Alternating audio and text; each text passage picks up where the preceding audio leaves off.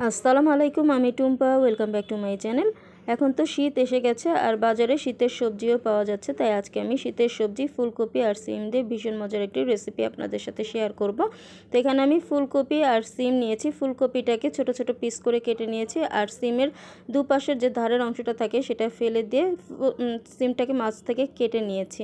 এরপর এটাকে ধুয়ে পানি ঝরিয়ে রেখেছি। আর আজকে এই সবজিগুলো রান্না করব আমি চিংড়ি মাছ দিয়ে। তো চিংড়ি মাছ নিয়েছি আমি এখানে মিডিয়াম সাইজের চিংড়ি মাছটাকে মাথা আর লেজটা ফেলে দিয়ে খোসাটা ছাড়িয়ে ধুয়ে পানি ঝরিয়ে নিয়েছি। তো এখন রান্না করতে চলে আসলাম। তো চুলে একটা প্যান বসিয়ে দিয়েছি আর তাতে আমি তেল গরম করে নিয়েছি। তো এখন আমি এর মধ্যে পেঁয়াজ দিয়ে দিলাম। এবার পেঁয়াজটাকে নরম করে ভেজে নিব। তো এই যে এই পর্যায়ে আমার পেঁয়াজটা কিন্তু হালকা নরম করে ভাজা হয়ে গেছে। তো এখন আমি এর মধ্যে চিংড়ি মাছগুলো দিয়ে দিলাম। এবার চিংড়ি মাছটাকেও এই পেঁয়াজের সাথে কিছু সময় ভেজে নিতে হবে। আর চিংড়ি মাছ কিন্তু ভাজতে খুব বেশি সময় লাগে না। এক মিনিটের মধ্যে কিন্তু চিংড়ি মাছটা ভাজা হয়ে যায়। তো এখন আমি এর মধ্যে সামান্য একটু পানি দিয়ে দিলাম যাতে মশলাটা পুড়ে না যায়।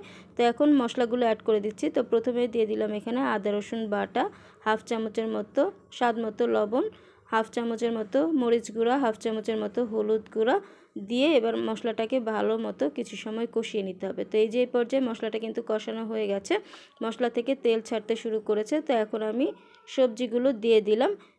এবার সবজিগুলোকে এই মশলাটার সাথে ভালো করে নেড়ে চেড়ে মিক্স করে দিচ্ছি।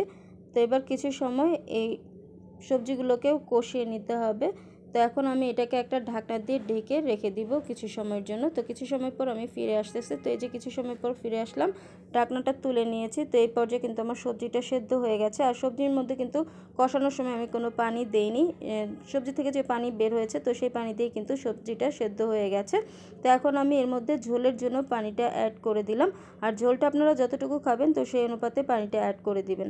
আর সবজির তরকারি একটু ঝোলঝোল খেতেই ভালো লাগে। তো এখানে আমি পানিটা একটু বেশি করে দিয়েছি। তো এই পর্যায়ে কিন্তু পানিটা বেশ শুকিয়ে এসেছে আর ঝোলটাও কিন্তু বেশ ঘন হয়ে গেছে। তো এখন আমি এর মধ্যে কয়েকটি কাঁচামরিচ ফালি করে দিয়েছি আর সাথে আমি ধনে পাতা কুচি দিয়েছি। আর আমি এখানে বেশ খানিকটা ধনে পাতা দিয়েছি। দিয়ে এবার একটু হালকা নেড়ে চেড়ে দিচ্ছি। ধনে পাতাটা চারদিকে ছড়িয়ে দিলাম। তো এবার সবজিটাকে চুলার আঁচ কমিয়ে আরও দু থেকে তিন মিনিটের মতো রান্না করে নিব। তো এই যে পর্যায়ে কিন্তু আমার সবজিটা হয়ে গেছে। ঝোলটা কিন্তু বেশ শুকিয়ে এসেছে, তো আমি এর থেকে আর বেশি শুকাবো না। এই পর্যায়ে আমি চুলাটা অফ করে দিচ্ছি। তো তৈরি হয়ে গেছে শীতের সবজি। সিম আর ফুলকপি দিয়ে চিংড়ি মাছের ঝোল। তো খুব সহজভাবে আজকে এই রেসিপিটা আপনাদের তৈরি করে দেখালাম। আশা করছি আমার আজকের এই রেসিপিটি আপনারা অবশ্যই বাসায় একবার তৈরি করে খেয়ে দেখবেন। যদি ভালো লাগে তাহলে অবশ্যই আপনার ফ্রেন্ডস অ্যান্ড ফ্যামিলির সাথে শেয়ার করবেন। তাহলে আজকে এই পর্যন্তই। সবাই ভালো থাকবেন, সুস্থ থাকবেন। তো আল্লাহ হাফেজ সবাইকে।